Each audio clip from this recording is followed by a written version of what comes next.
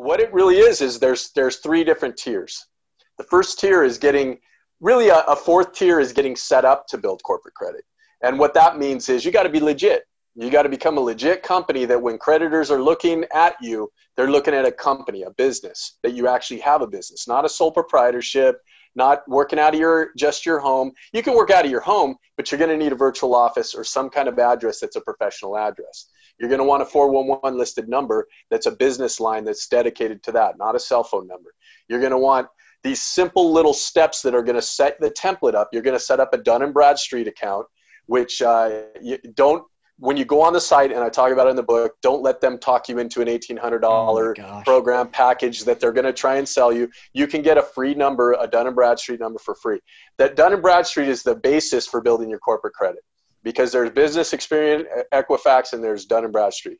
You can get accounts like Quill, like you were talking about, or Uline, or Grainger, or any of these that you can get started on 30-day net accounts that they'll offer to any new business and what that means is you're gonna you're gonna get an account and you're gonna get so much and you got to pay it off within 30 days. So get an account and buy something with it. You got to exercise the credit. So you're gonna buy a like you say a box of staples or staplers or anything that you need for your office. People are going to need office stuff. So figure it out. If not, get with somebody else that needs something and say, buy it through my account. So there's different ways to solve it. You know, in other words, think out of the box, if you, if you will, but you're going to exercise it and then you're going to want to pay off your, pay the account off about a week before it's due. Paying on time is the number one thing in business credit. And that's if you know that part, you can accelerate building your Paydex score. It's it's based on 100 points. You want to get to an 80. That's like a 750 FICO score for your company. Once you get to an 80 Paydex score, that opens the keys to the next tier. Now you're going to get office. Uh, you're going you're going to get vendor account. Then you're going to get store credit. You're going to get store credit. You start exercising that. Staples, Home Depot, Lowe's, Dell Computers, all these different things. You're going to apply for maybe uh, some gas cards. Maybe you're a trucking company. There's all these different accounts. You want to get to about 10 to 12 active accounts that are reporting. From there, and you got an 80 Paydex score, you're building your experience scores. If you got good personal credit, go get some business credit cards. Start exercising that as well, because then they'll report to Experian and Equifax. Pretty soon, you get to that third tier, and they're offering you credit. Now you're able to get a MasterCard at Sam's Club without a personal guarantee. This is not this is not even based on your personal. But more importantly, leveraging that along with a strong personal credit is going to unlock lines of credit and different lending options that you can't even imagine now. And people think, well, I just need a hundred thousand for this, and I'm like, well, what's a hundred thousand going to be for? And they're like, well, I need to buy some equipment, and I need to. I said, why don't you lease the equipment? Why don't you? You don't need that hundred thousand in capital. You might just need those accounts to be set up to where you can finance it and track it through your tax ID as opposed this is the thinking you got to think. The tax ID is the social security for your business for your company for the uh, the legal entity we talked about your legal person that you're the avatar that you're you know using in the system of uh, capitalism.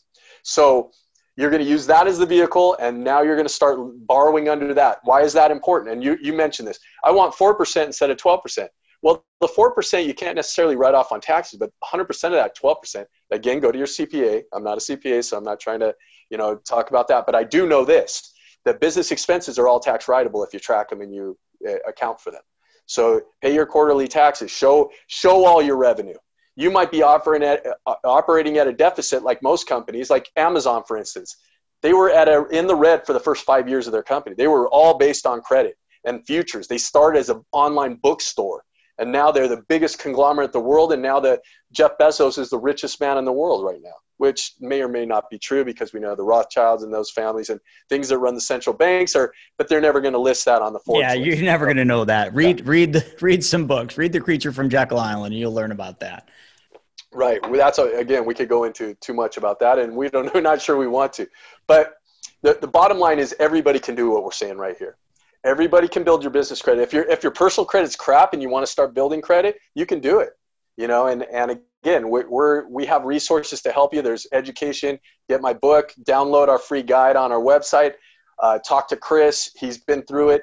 Get some mentor that's going to walk you through the process because there you will have questions, you will have things, and always look at everything as not a cost to you anymore this is an investment that you want to get a return on and i want to write off on my taxes because every business expense whether it's education or whether i get a program or a coaching program it, it's going to be writable because you're giving back to the economy. Get it out of your head that you're taking advantage of anything. This is the way the system was set up.